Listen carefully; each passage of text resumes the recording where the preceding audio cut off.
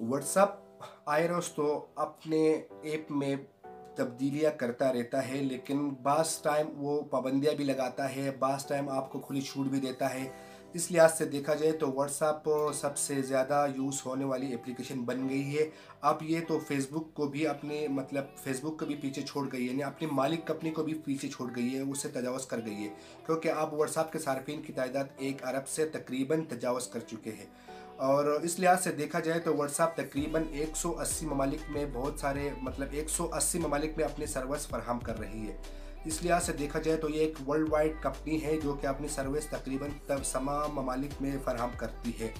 अभी व्हाट्सएप के हवाले से एक नई पाबंदी का इतलाक मतलब पाबंदी आयद कर दी गई है कि आप अपने फ्रेंड लिस्ट में या फिर ग्रुप में पाँच से ज़्यादा लोगों को मैसेज नहीं कर सकते। वो इसलिए कि पिछले कुछ अरसे से व्हाट्सएप के लिए मतलब ऐसे गलत खबरें फैल रही थी जिसके बायस इंडिया में चंद हलाकत भी हुई। इसने इसलिए अगर देखा जाए तो इसके मतलब लोग गलत यूज़ करते हैं मतलब अफवाहें फैलाते हैं जिस लिहाज से लोगों को मसला हो सकता है। लग, मतलब अब व्हाट्सएप ने ये सेंडिंग का ऑप्शन सिर्फ़ पाँच लोगों के लिए रख कर ये कर दिया है कि जो भी लोग अपना मैसेज फॉरवर्ड करते हैं वो ज़्यादा से ज़्यादा पाँच लोगों को सेंड कर सकते हैं या फिर फॉरवर्ड कर सकते हैं। अगर कोई इससे ज़्यादा लोगों को बेचना चाहता है तो उसके लिए दोबारा कॉपी करके मतलब सेंड करना पड़ेगा। देखा जाए तो ये इनके लिहाज से कम, ये तो काफ़ी सार्फिन के लिहाज से कम है, लेकिन देखा जाए वो इसलिए कि व्हाट्सएप उन पर नज़र रखना चाहता है कि कोई ऐसी खबर तो पब्लिक नहीं हो रही जो कि रियल में है ही नहीं।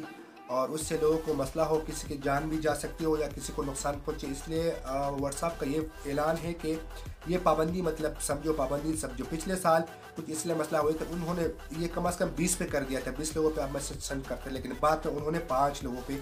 अभी अभी ये नई इतलाक आई है कि आप मैसेज में सिर्फ़ पाँच लोगों को इसको मैसेज फॉरवर्ड कर फॉरवर्ड कर सकते हैं। जब भी इसके अलावा फॉरवर्ड के लिए भी अलग ऑप्शन में होता है, जो भी मैसेज आप फॉरवर्ड करते हैं, उस पर आगे मतलब ऊपर एक फॉरवर्ड का ऑप्शन दिया होता है कि ये मैसेज फॉरवर्ड की गई है, न कि राइट की गई है। जो राइट होती है, उन पर कुछ नहीं होता है लेकिन जो फॉरवर्ड होते हैं, उन पर एक फॉरवर्ड का मार्क भी होता है कि ये मैसेज फॉरवर्ड की गई। इस लिहाज से देखा जाए तो ये सिक्योरिटी के लिहाज से काफ़ी अच्छा ऑप्शन है। देखते हैं कि उस पर सार्फिन का मतलब रिएक्शन क्या आता है।